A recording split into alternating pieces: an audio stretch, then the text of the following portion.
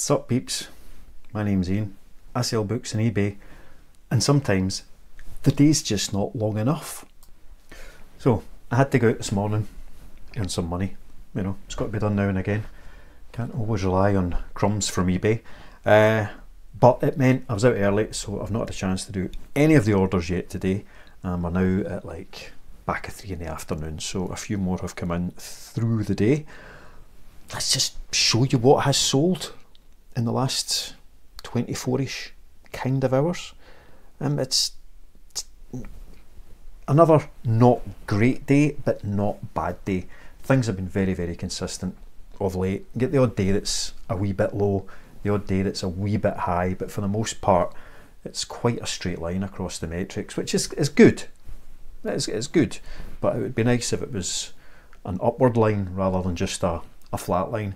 But if you keep doing the same thing, you're not going to get different results. You know, was that the definition of madness? Um, doing the same thing repeatedly and expecting to get something different. So I am doing the same thing repeatedly, and although I would like to make more money, I have been trying to do the same thing repeatedly just to really test what I'm doing and make sure that I've not just had a few lucky spikes, that what I'm doing is consistent and can be a business. So, although I've been slowly creeping up my levels of stock, um, and the, to be honest, the, the average sales are creeping up alongside that increase in stock. It's not been a massive increase in stock, so it's not been a massive uplift, uplift in average sales, but it's been pretty darn consistent for the last wee while. You know, it was a bit spiky, kind of, you know, two steps forward, one step back for a while. But the last few months, although it's not been brilliant, it has been very consistent, which is is great because it means it's something that I can kinda rely on. Uh, never taking anything for granted. I mean, you could have a week with nothing. I could do something wrong in eBay and get a suspension. I mean, there's any number of things that could happen. I might not be able to find any stock for a fortnight. I could break my leg. You know, all of that aside, uh, I can look at that kind of the average over quite a long period and what my earnings or what the business earnings are from that and kind of rely on that income for getting more stock, getting my shelving sorted out, occasionally paying the rent, uh, things like things like that. So that's good. And now that I know that is consistent, next time I get a wee influx of cash, which might win a lottery, you never know. Uh, I'm fairly confident that it would be worth my while going out and kind of doubling down on what I'm already doing, and I would see a significant increase in sales just from doing that. So that's that's where the head is with the business. But those consistent sales, what are they? Let's let's just show you, shall we? Um, first up, we've got five Christopher Brookmyre books. So nice wee hardcover at the bottom, and then four paperbacks. Christopher Brookmyre, Glasgow author, love him. I've well, I don't know if that's really true anymore. Uh, back in the old days when he was Christopher Brookmyre and wrote that type of book, brilliant, loved it. Um, since he became Chris Brookmyre and started writing that type of book, I tried reading one Black Widow and it was just another, just another thriller. It didn't do anything particularly for me. So yeah, original Christopher Brookmyre, classics. The new ones, just another, not just another. I'm sure he's very good, but just another kind of Mark Billingham, Peter James, whatever you want to call them. Anyway, thirteen ninety nine for the five of those. And then sold one of these the other day, picked another one up, and sold another one. Kimberley Chambers, The Brothers, Diamond Edition. Uh, hardcover, first edition, £9.90. So that's a popular book at the moment.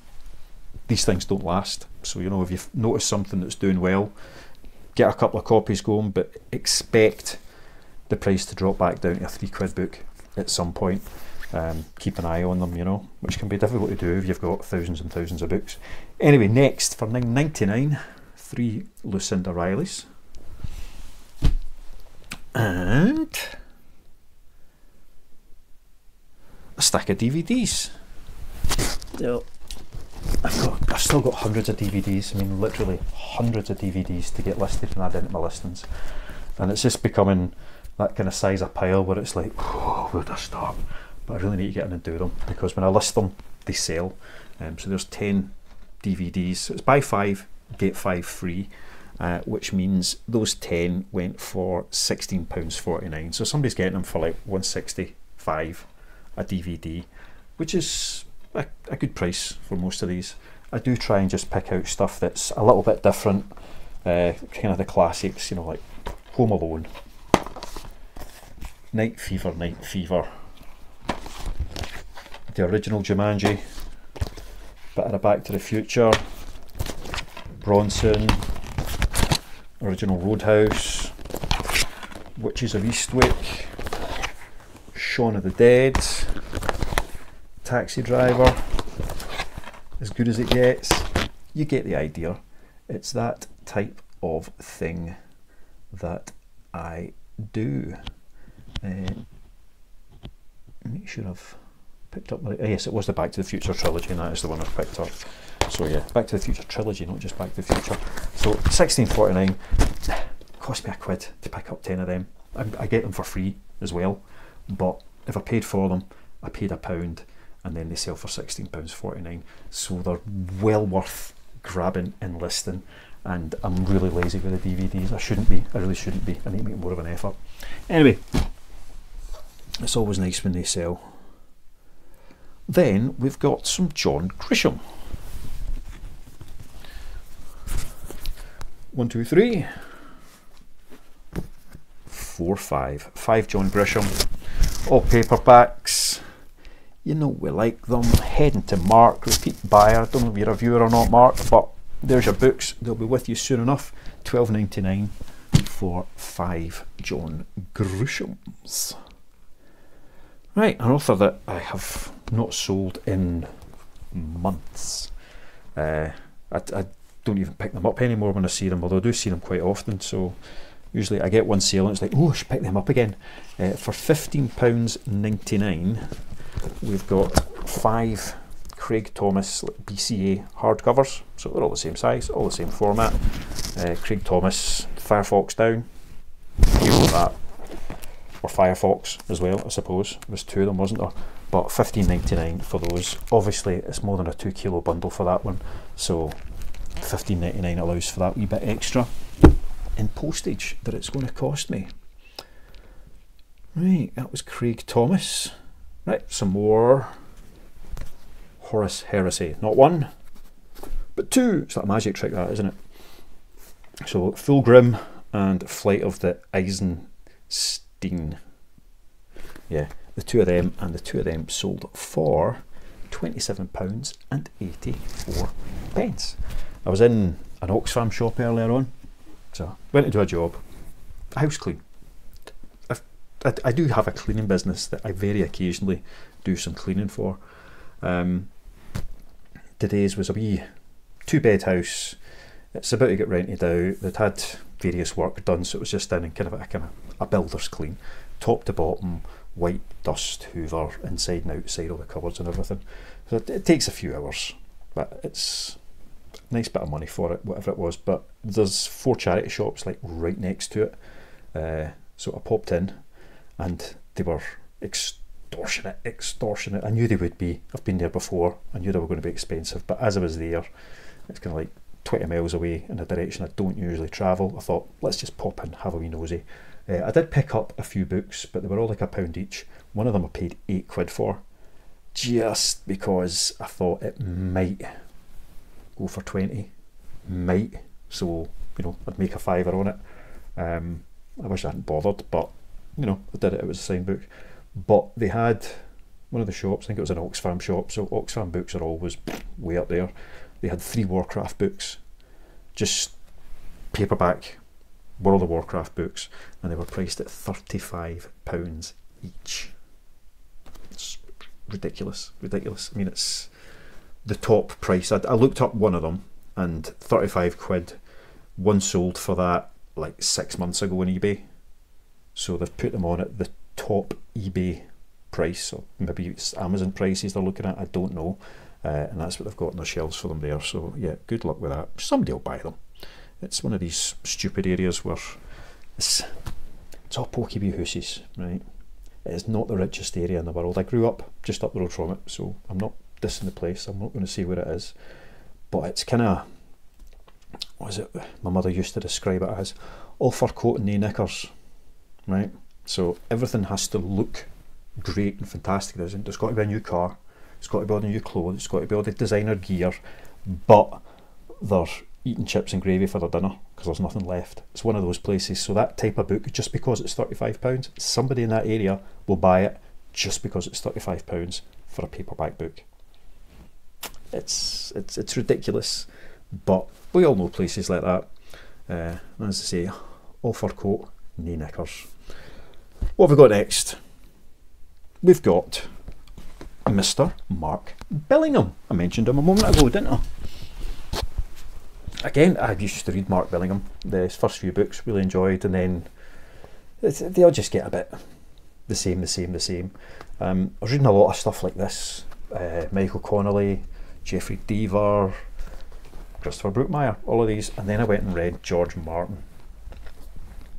So, some of the Game of Thrones books, or the Song of Ice and Fire books. Then I read Fevre Dream, which was so good. That's probably my favourite book of his, despite Song of Ice and Fire being exquisite. And then I went back to something like this. It was just flat, flat and formulaic, and I've never managed to get back to them. But that does not take away from if this is your thing, Mark Billingham is brilliant at what he does.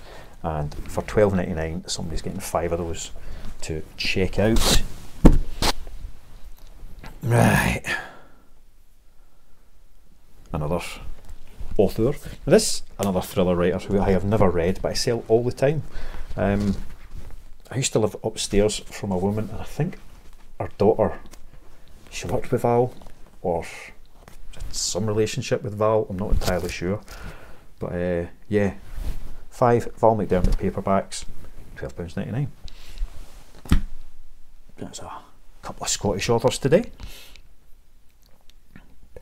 Right, a pre-made bundle, a bundle I made up ages ago. I keep looking at it and thinking, oh god, I need to split that up and just get them listed separately because it's not going anywhere. And then it's sold. Oh, Let's do it that way so you can see what they are. 14.99. So we've got on Eva Ibbotson, a Veronica Roth, names you all know. Then we've got Kiersten White, Slayer. So it's like a, a Buffy universe book. Psychology of Time Travel by Kate Mascarenhas and Kim Newman, The Secrets of Drearcliff Grange School. Uh, there's Kim Newman who used to do reviews in horror magazines, and I know he did write a couple of books. Is that the same Kim Newman? It's unusual to have.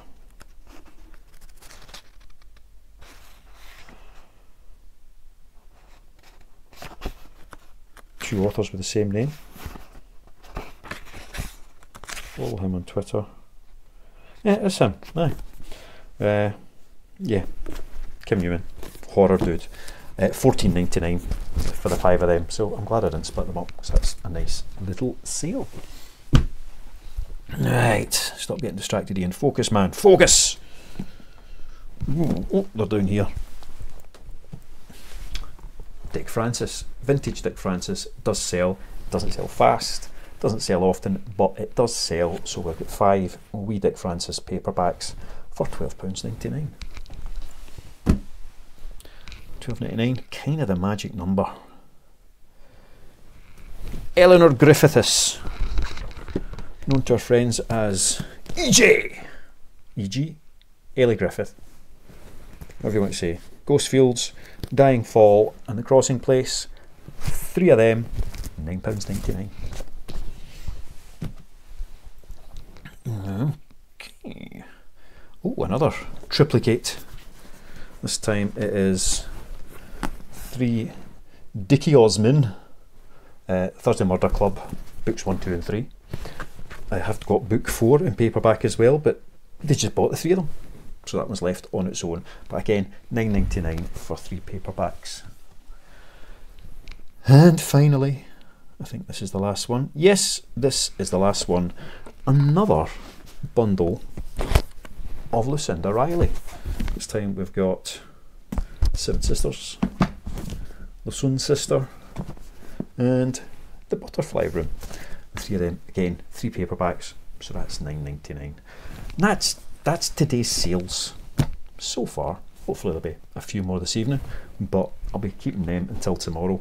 What I need to do now is get this lot packed up and go back out and drop them off at Royal Mail, which I really can't be bothered with because it's started raining since I came in. It's just turned into one of those miserable days where once you're in, you just want to stay in. I've still got a lot of listing to do, so I need to come back and do that as well. But I'm going to get this lot packed up, uh, nick off, drop them all off so that they're in the system and on their way before the end of the day. And then I'll come back and I'm going to ask a cup of coffee, do some listing, and maybe at some point I'll even have some dinner. Who knows? One of those crazy days. Anyway, thank you all for watching as ever, and uh, no doubt, hopefully, I'll see you tomorrow.